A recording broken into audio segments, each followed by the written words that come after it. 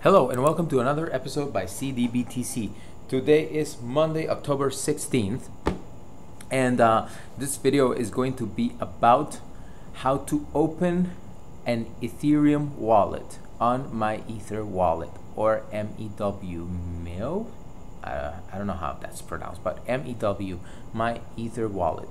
And why is an Ethereum wallet important? An Ethereum wallet is important because this is what you will require to have in order to receive the tokens from Ethereum based ICOs. So if you have an ICO that's based on the Ethereum blockchain, they will ask you to have a wallet that is able to receive ERC20 tokens. And and uh, you cannot use the wallets on the exchanges. Uh, they actually recommend not to use the wallets on the exchanges for receiving tokens because they might get lost they might never make it.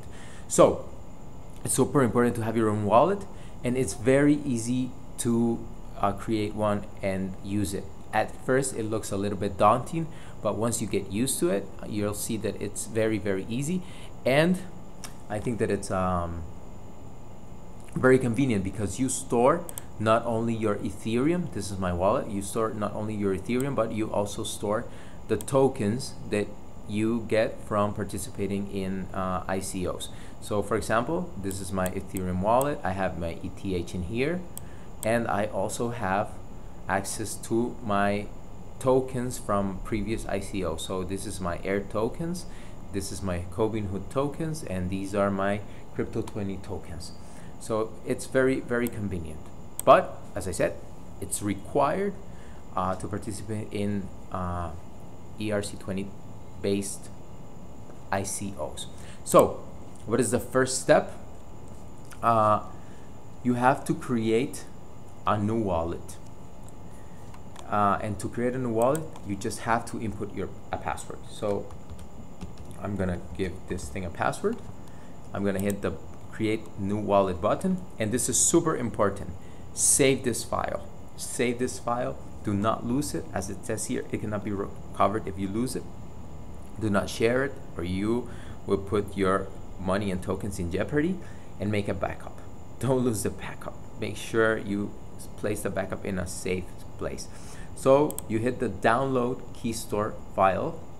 It's downloaded. And I hit I understand. This is your private key. Also print it out put I'll copy it in a safe place. Take care of it okay? So uh, once you do that you have created your wallet. So how do you access your wallet?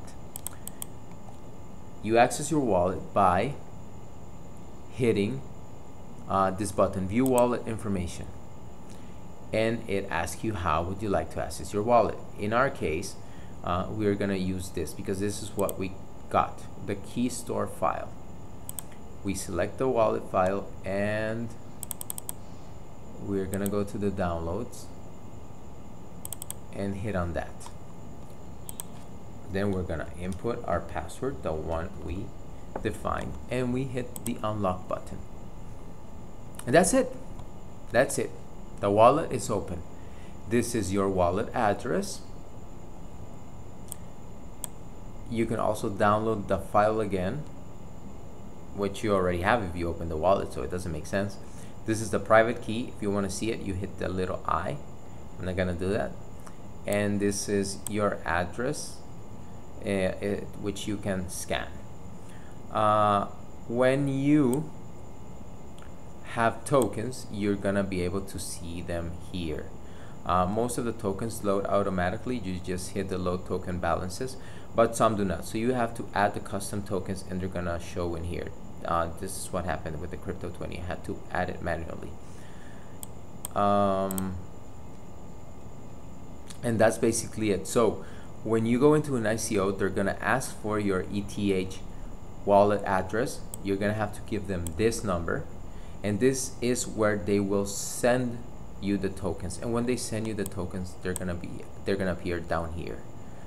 Uh, you're just gonna have to hit load token balances and they're gonna load up uh, if they're hidden show tokens and they will be shown. And if they don't appear here but you know that you bought them you're gonna have to add the custom token. And I'm gonna have a video uh, in a while uh, on how to do it because I will be purchasing some gold rewards tokens and uh, I'm gonna talk about that in a, in a minute. Uh, BitConnect result for today wow $477 in the lending wallet $477 with 62 cents uh, these are the interest for tonight. And um, i have good use for these uh, for this money today. I'm gonna put it towards um, ooh waves waves. Okay so I'm putting that in Bittrex. Okay so as you can see super easy uh, to close the wallet. You just close the page. That's it.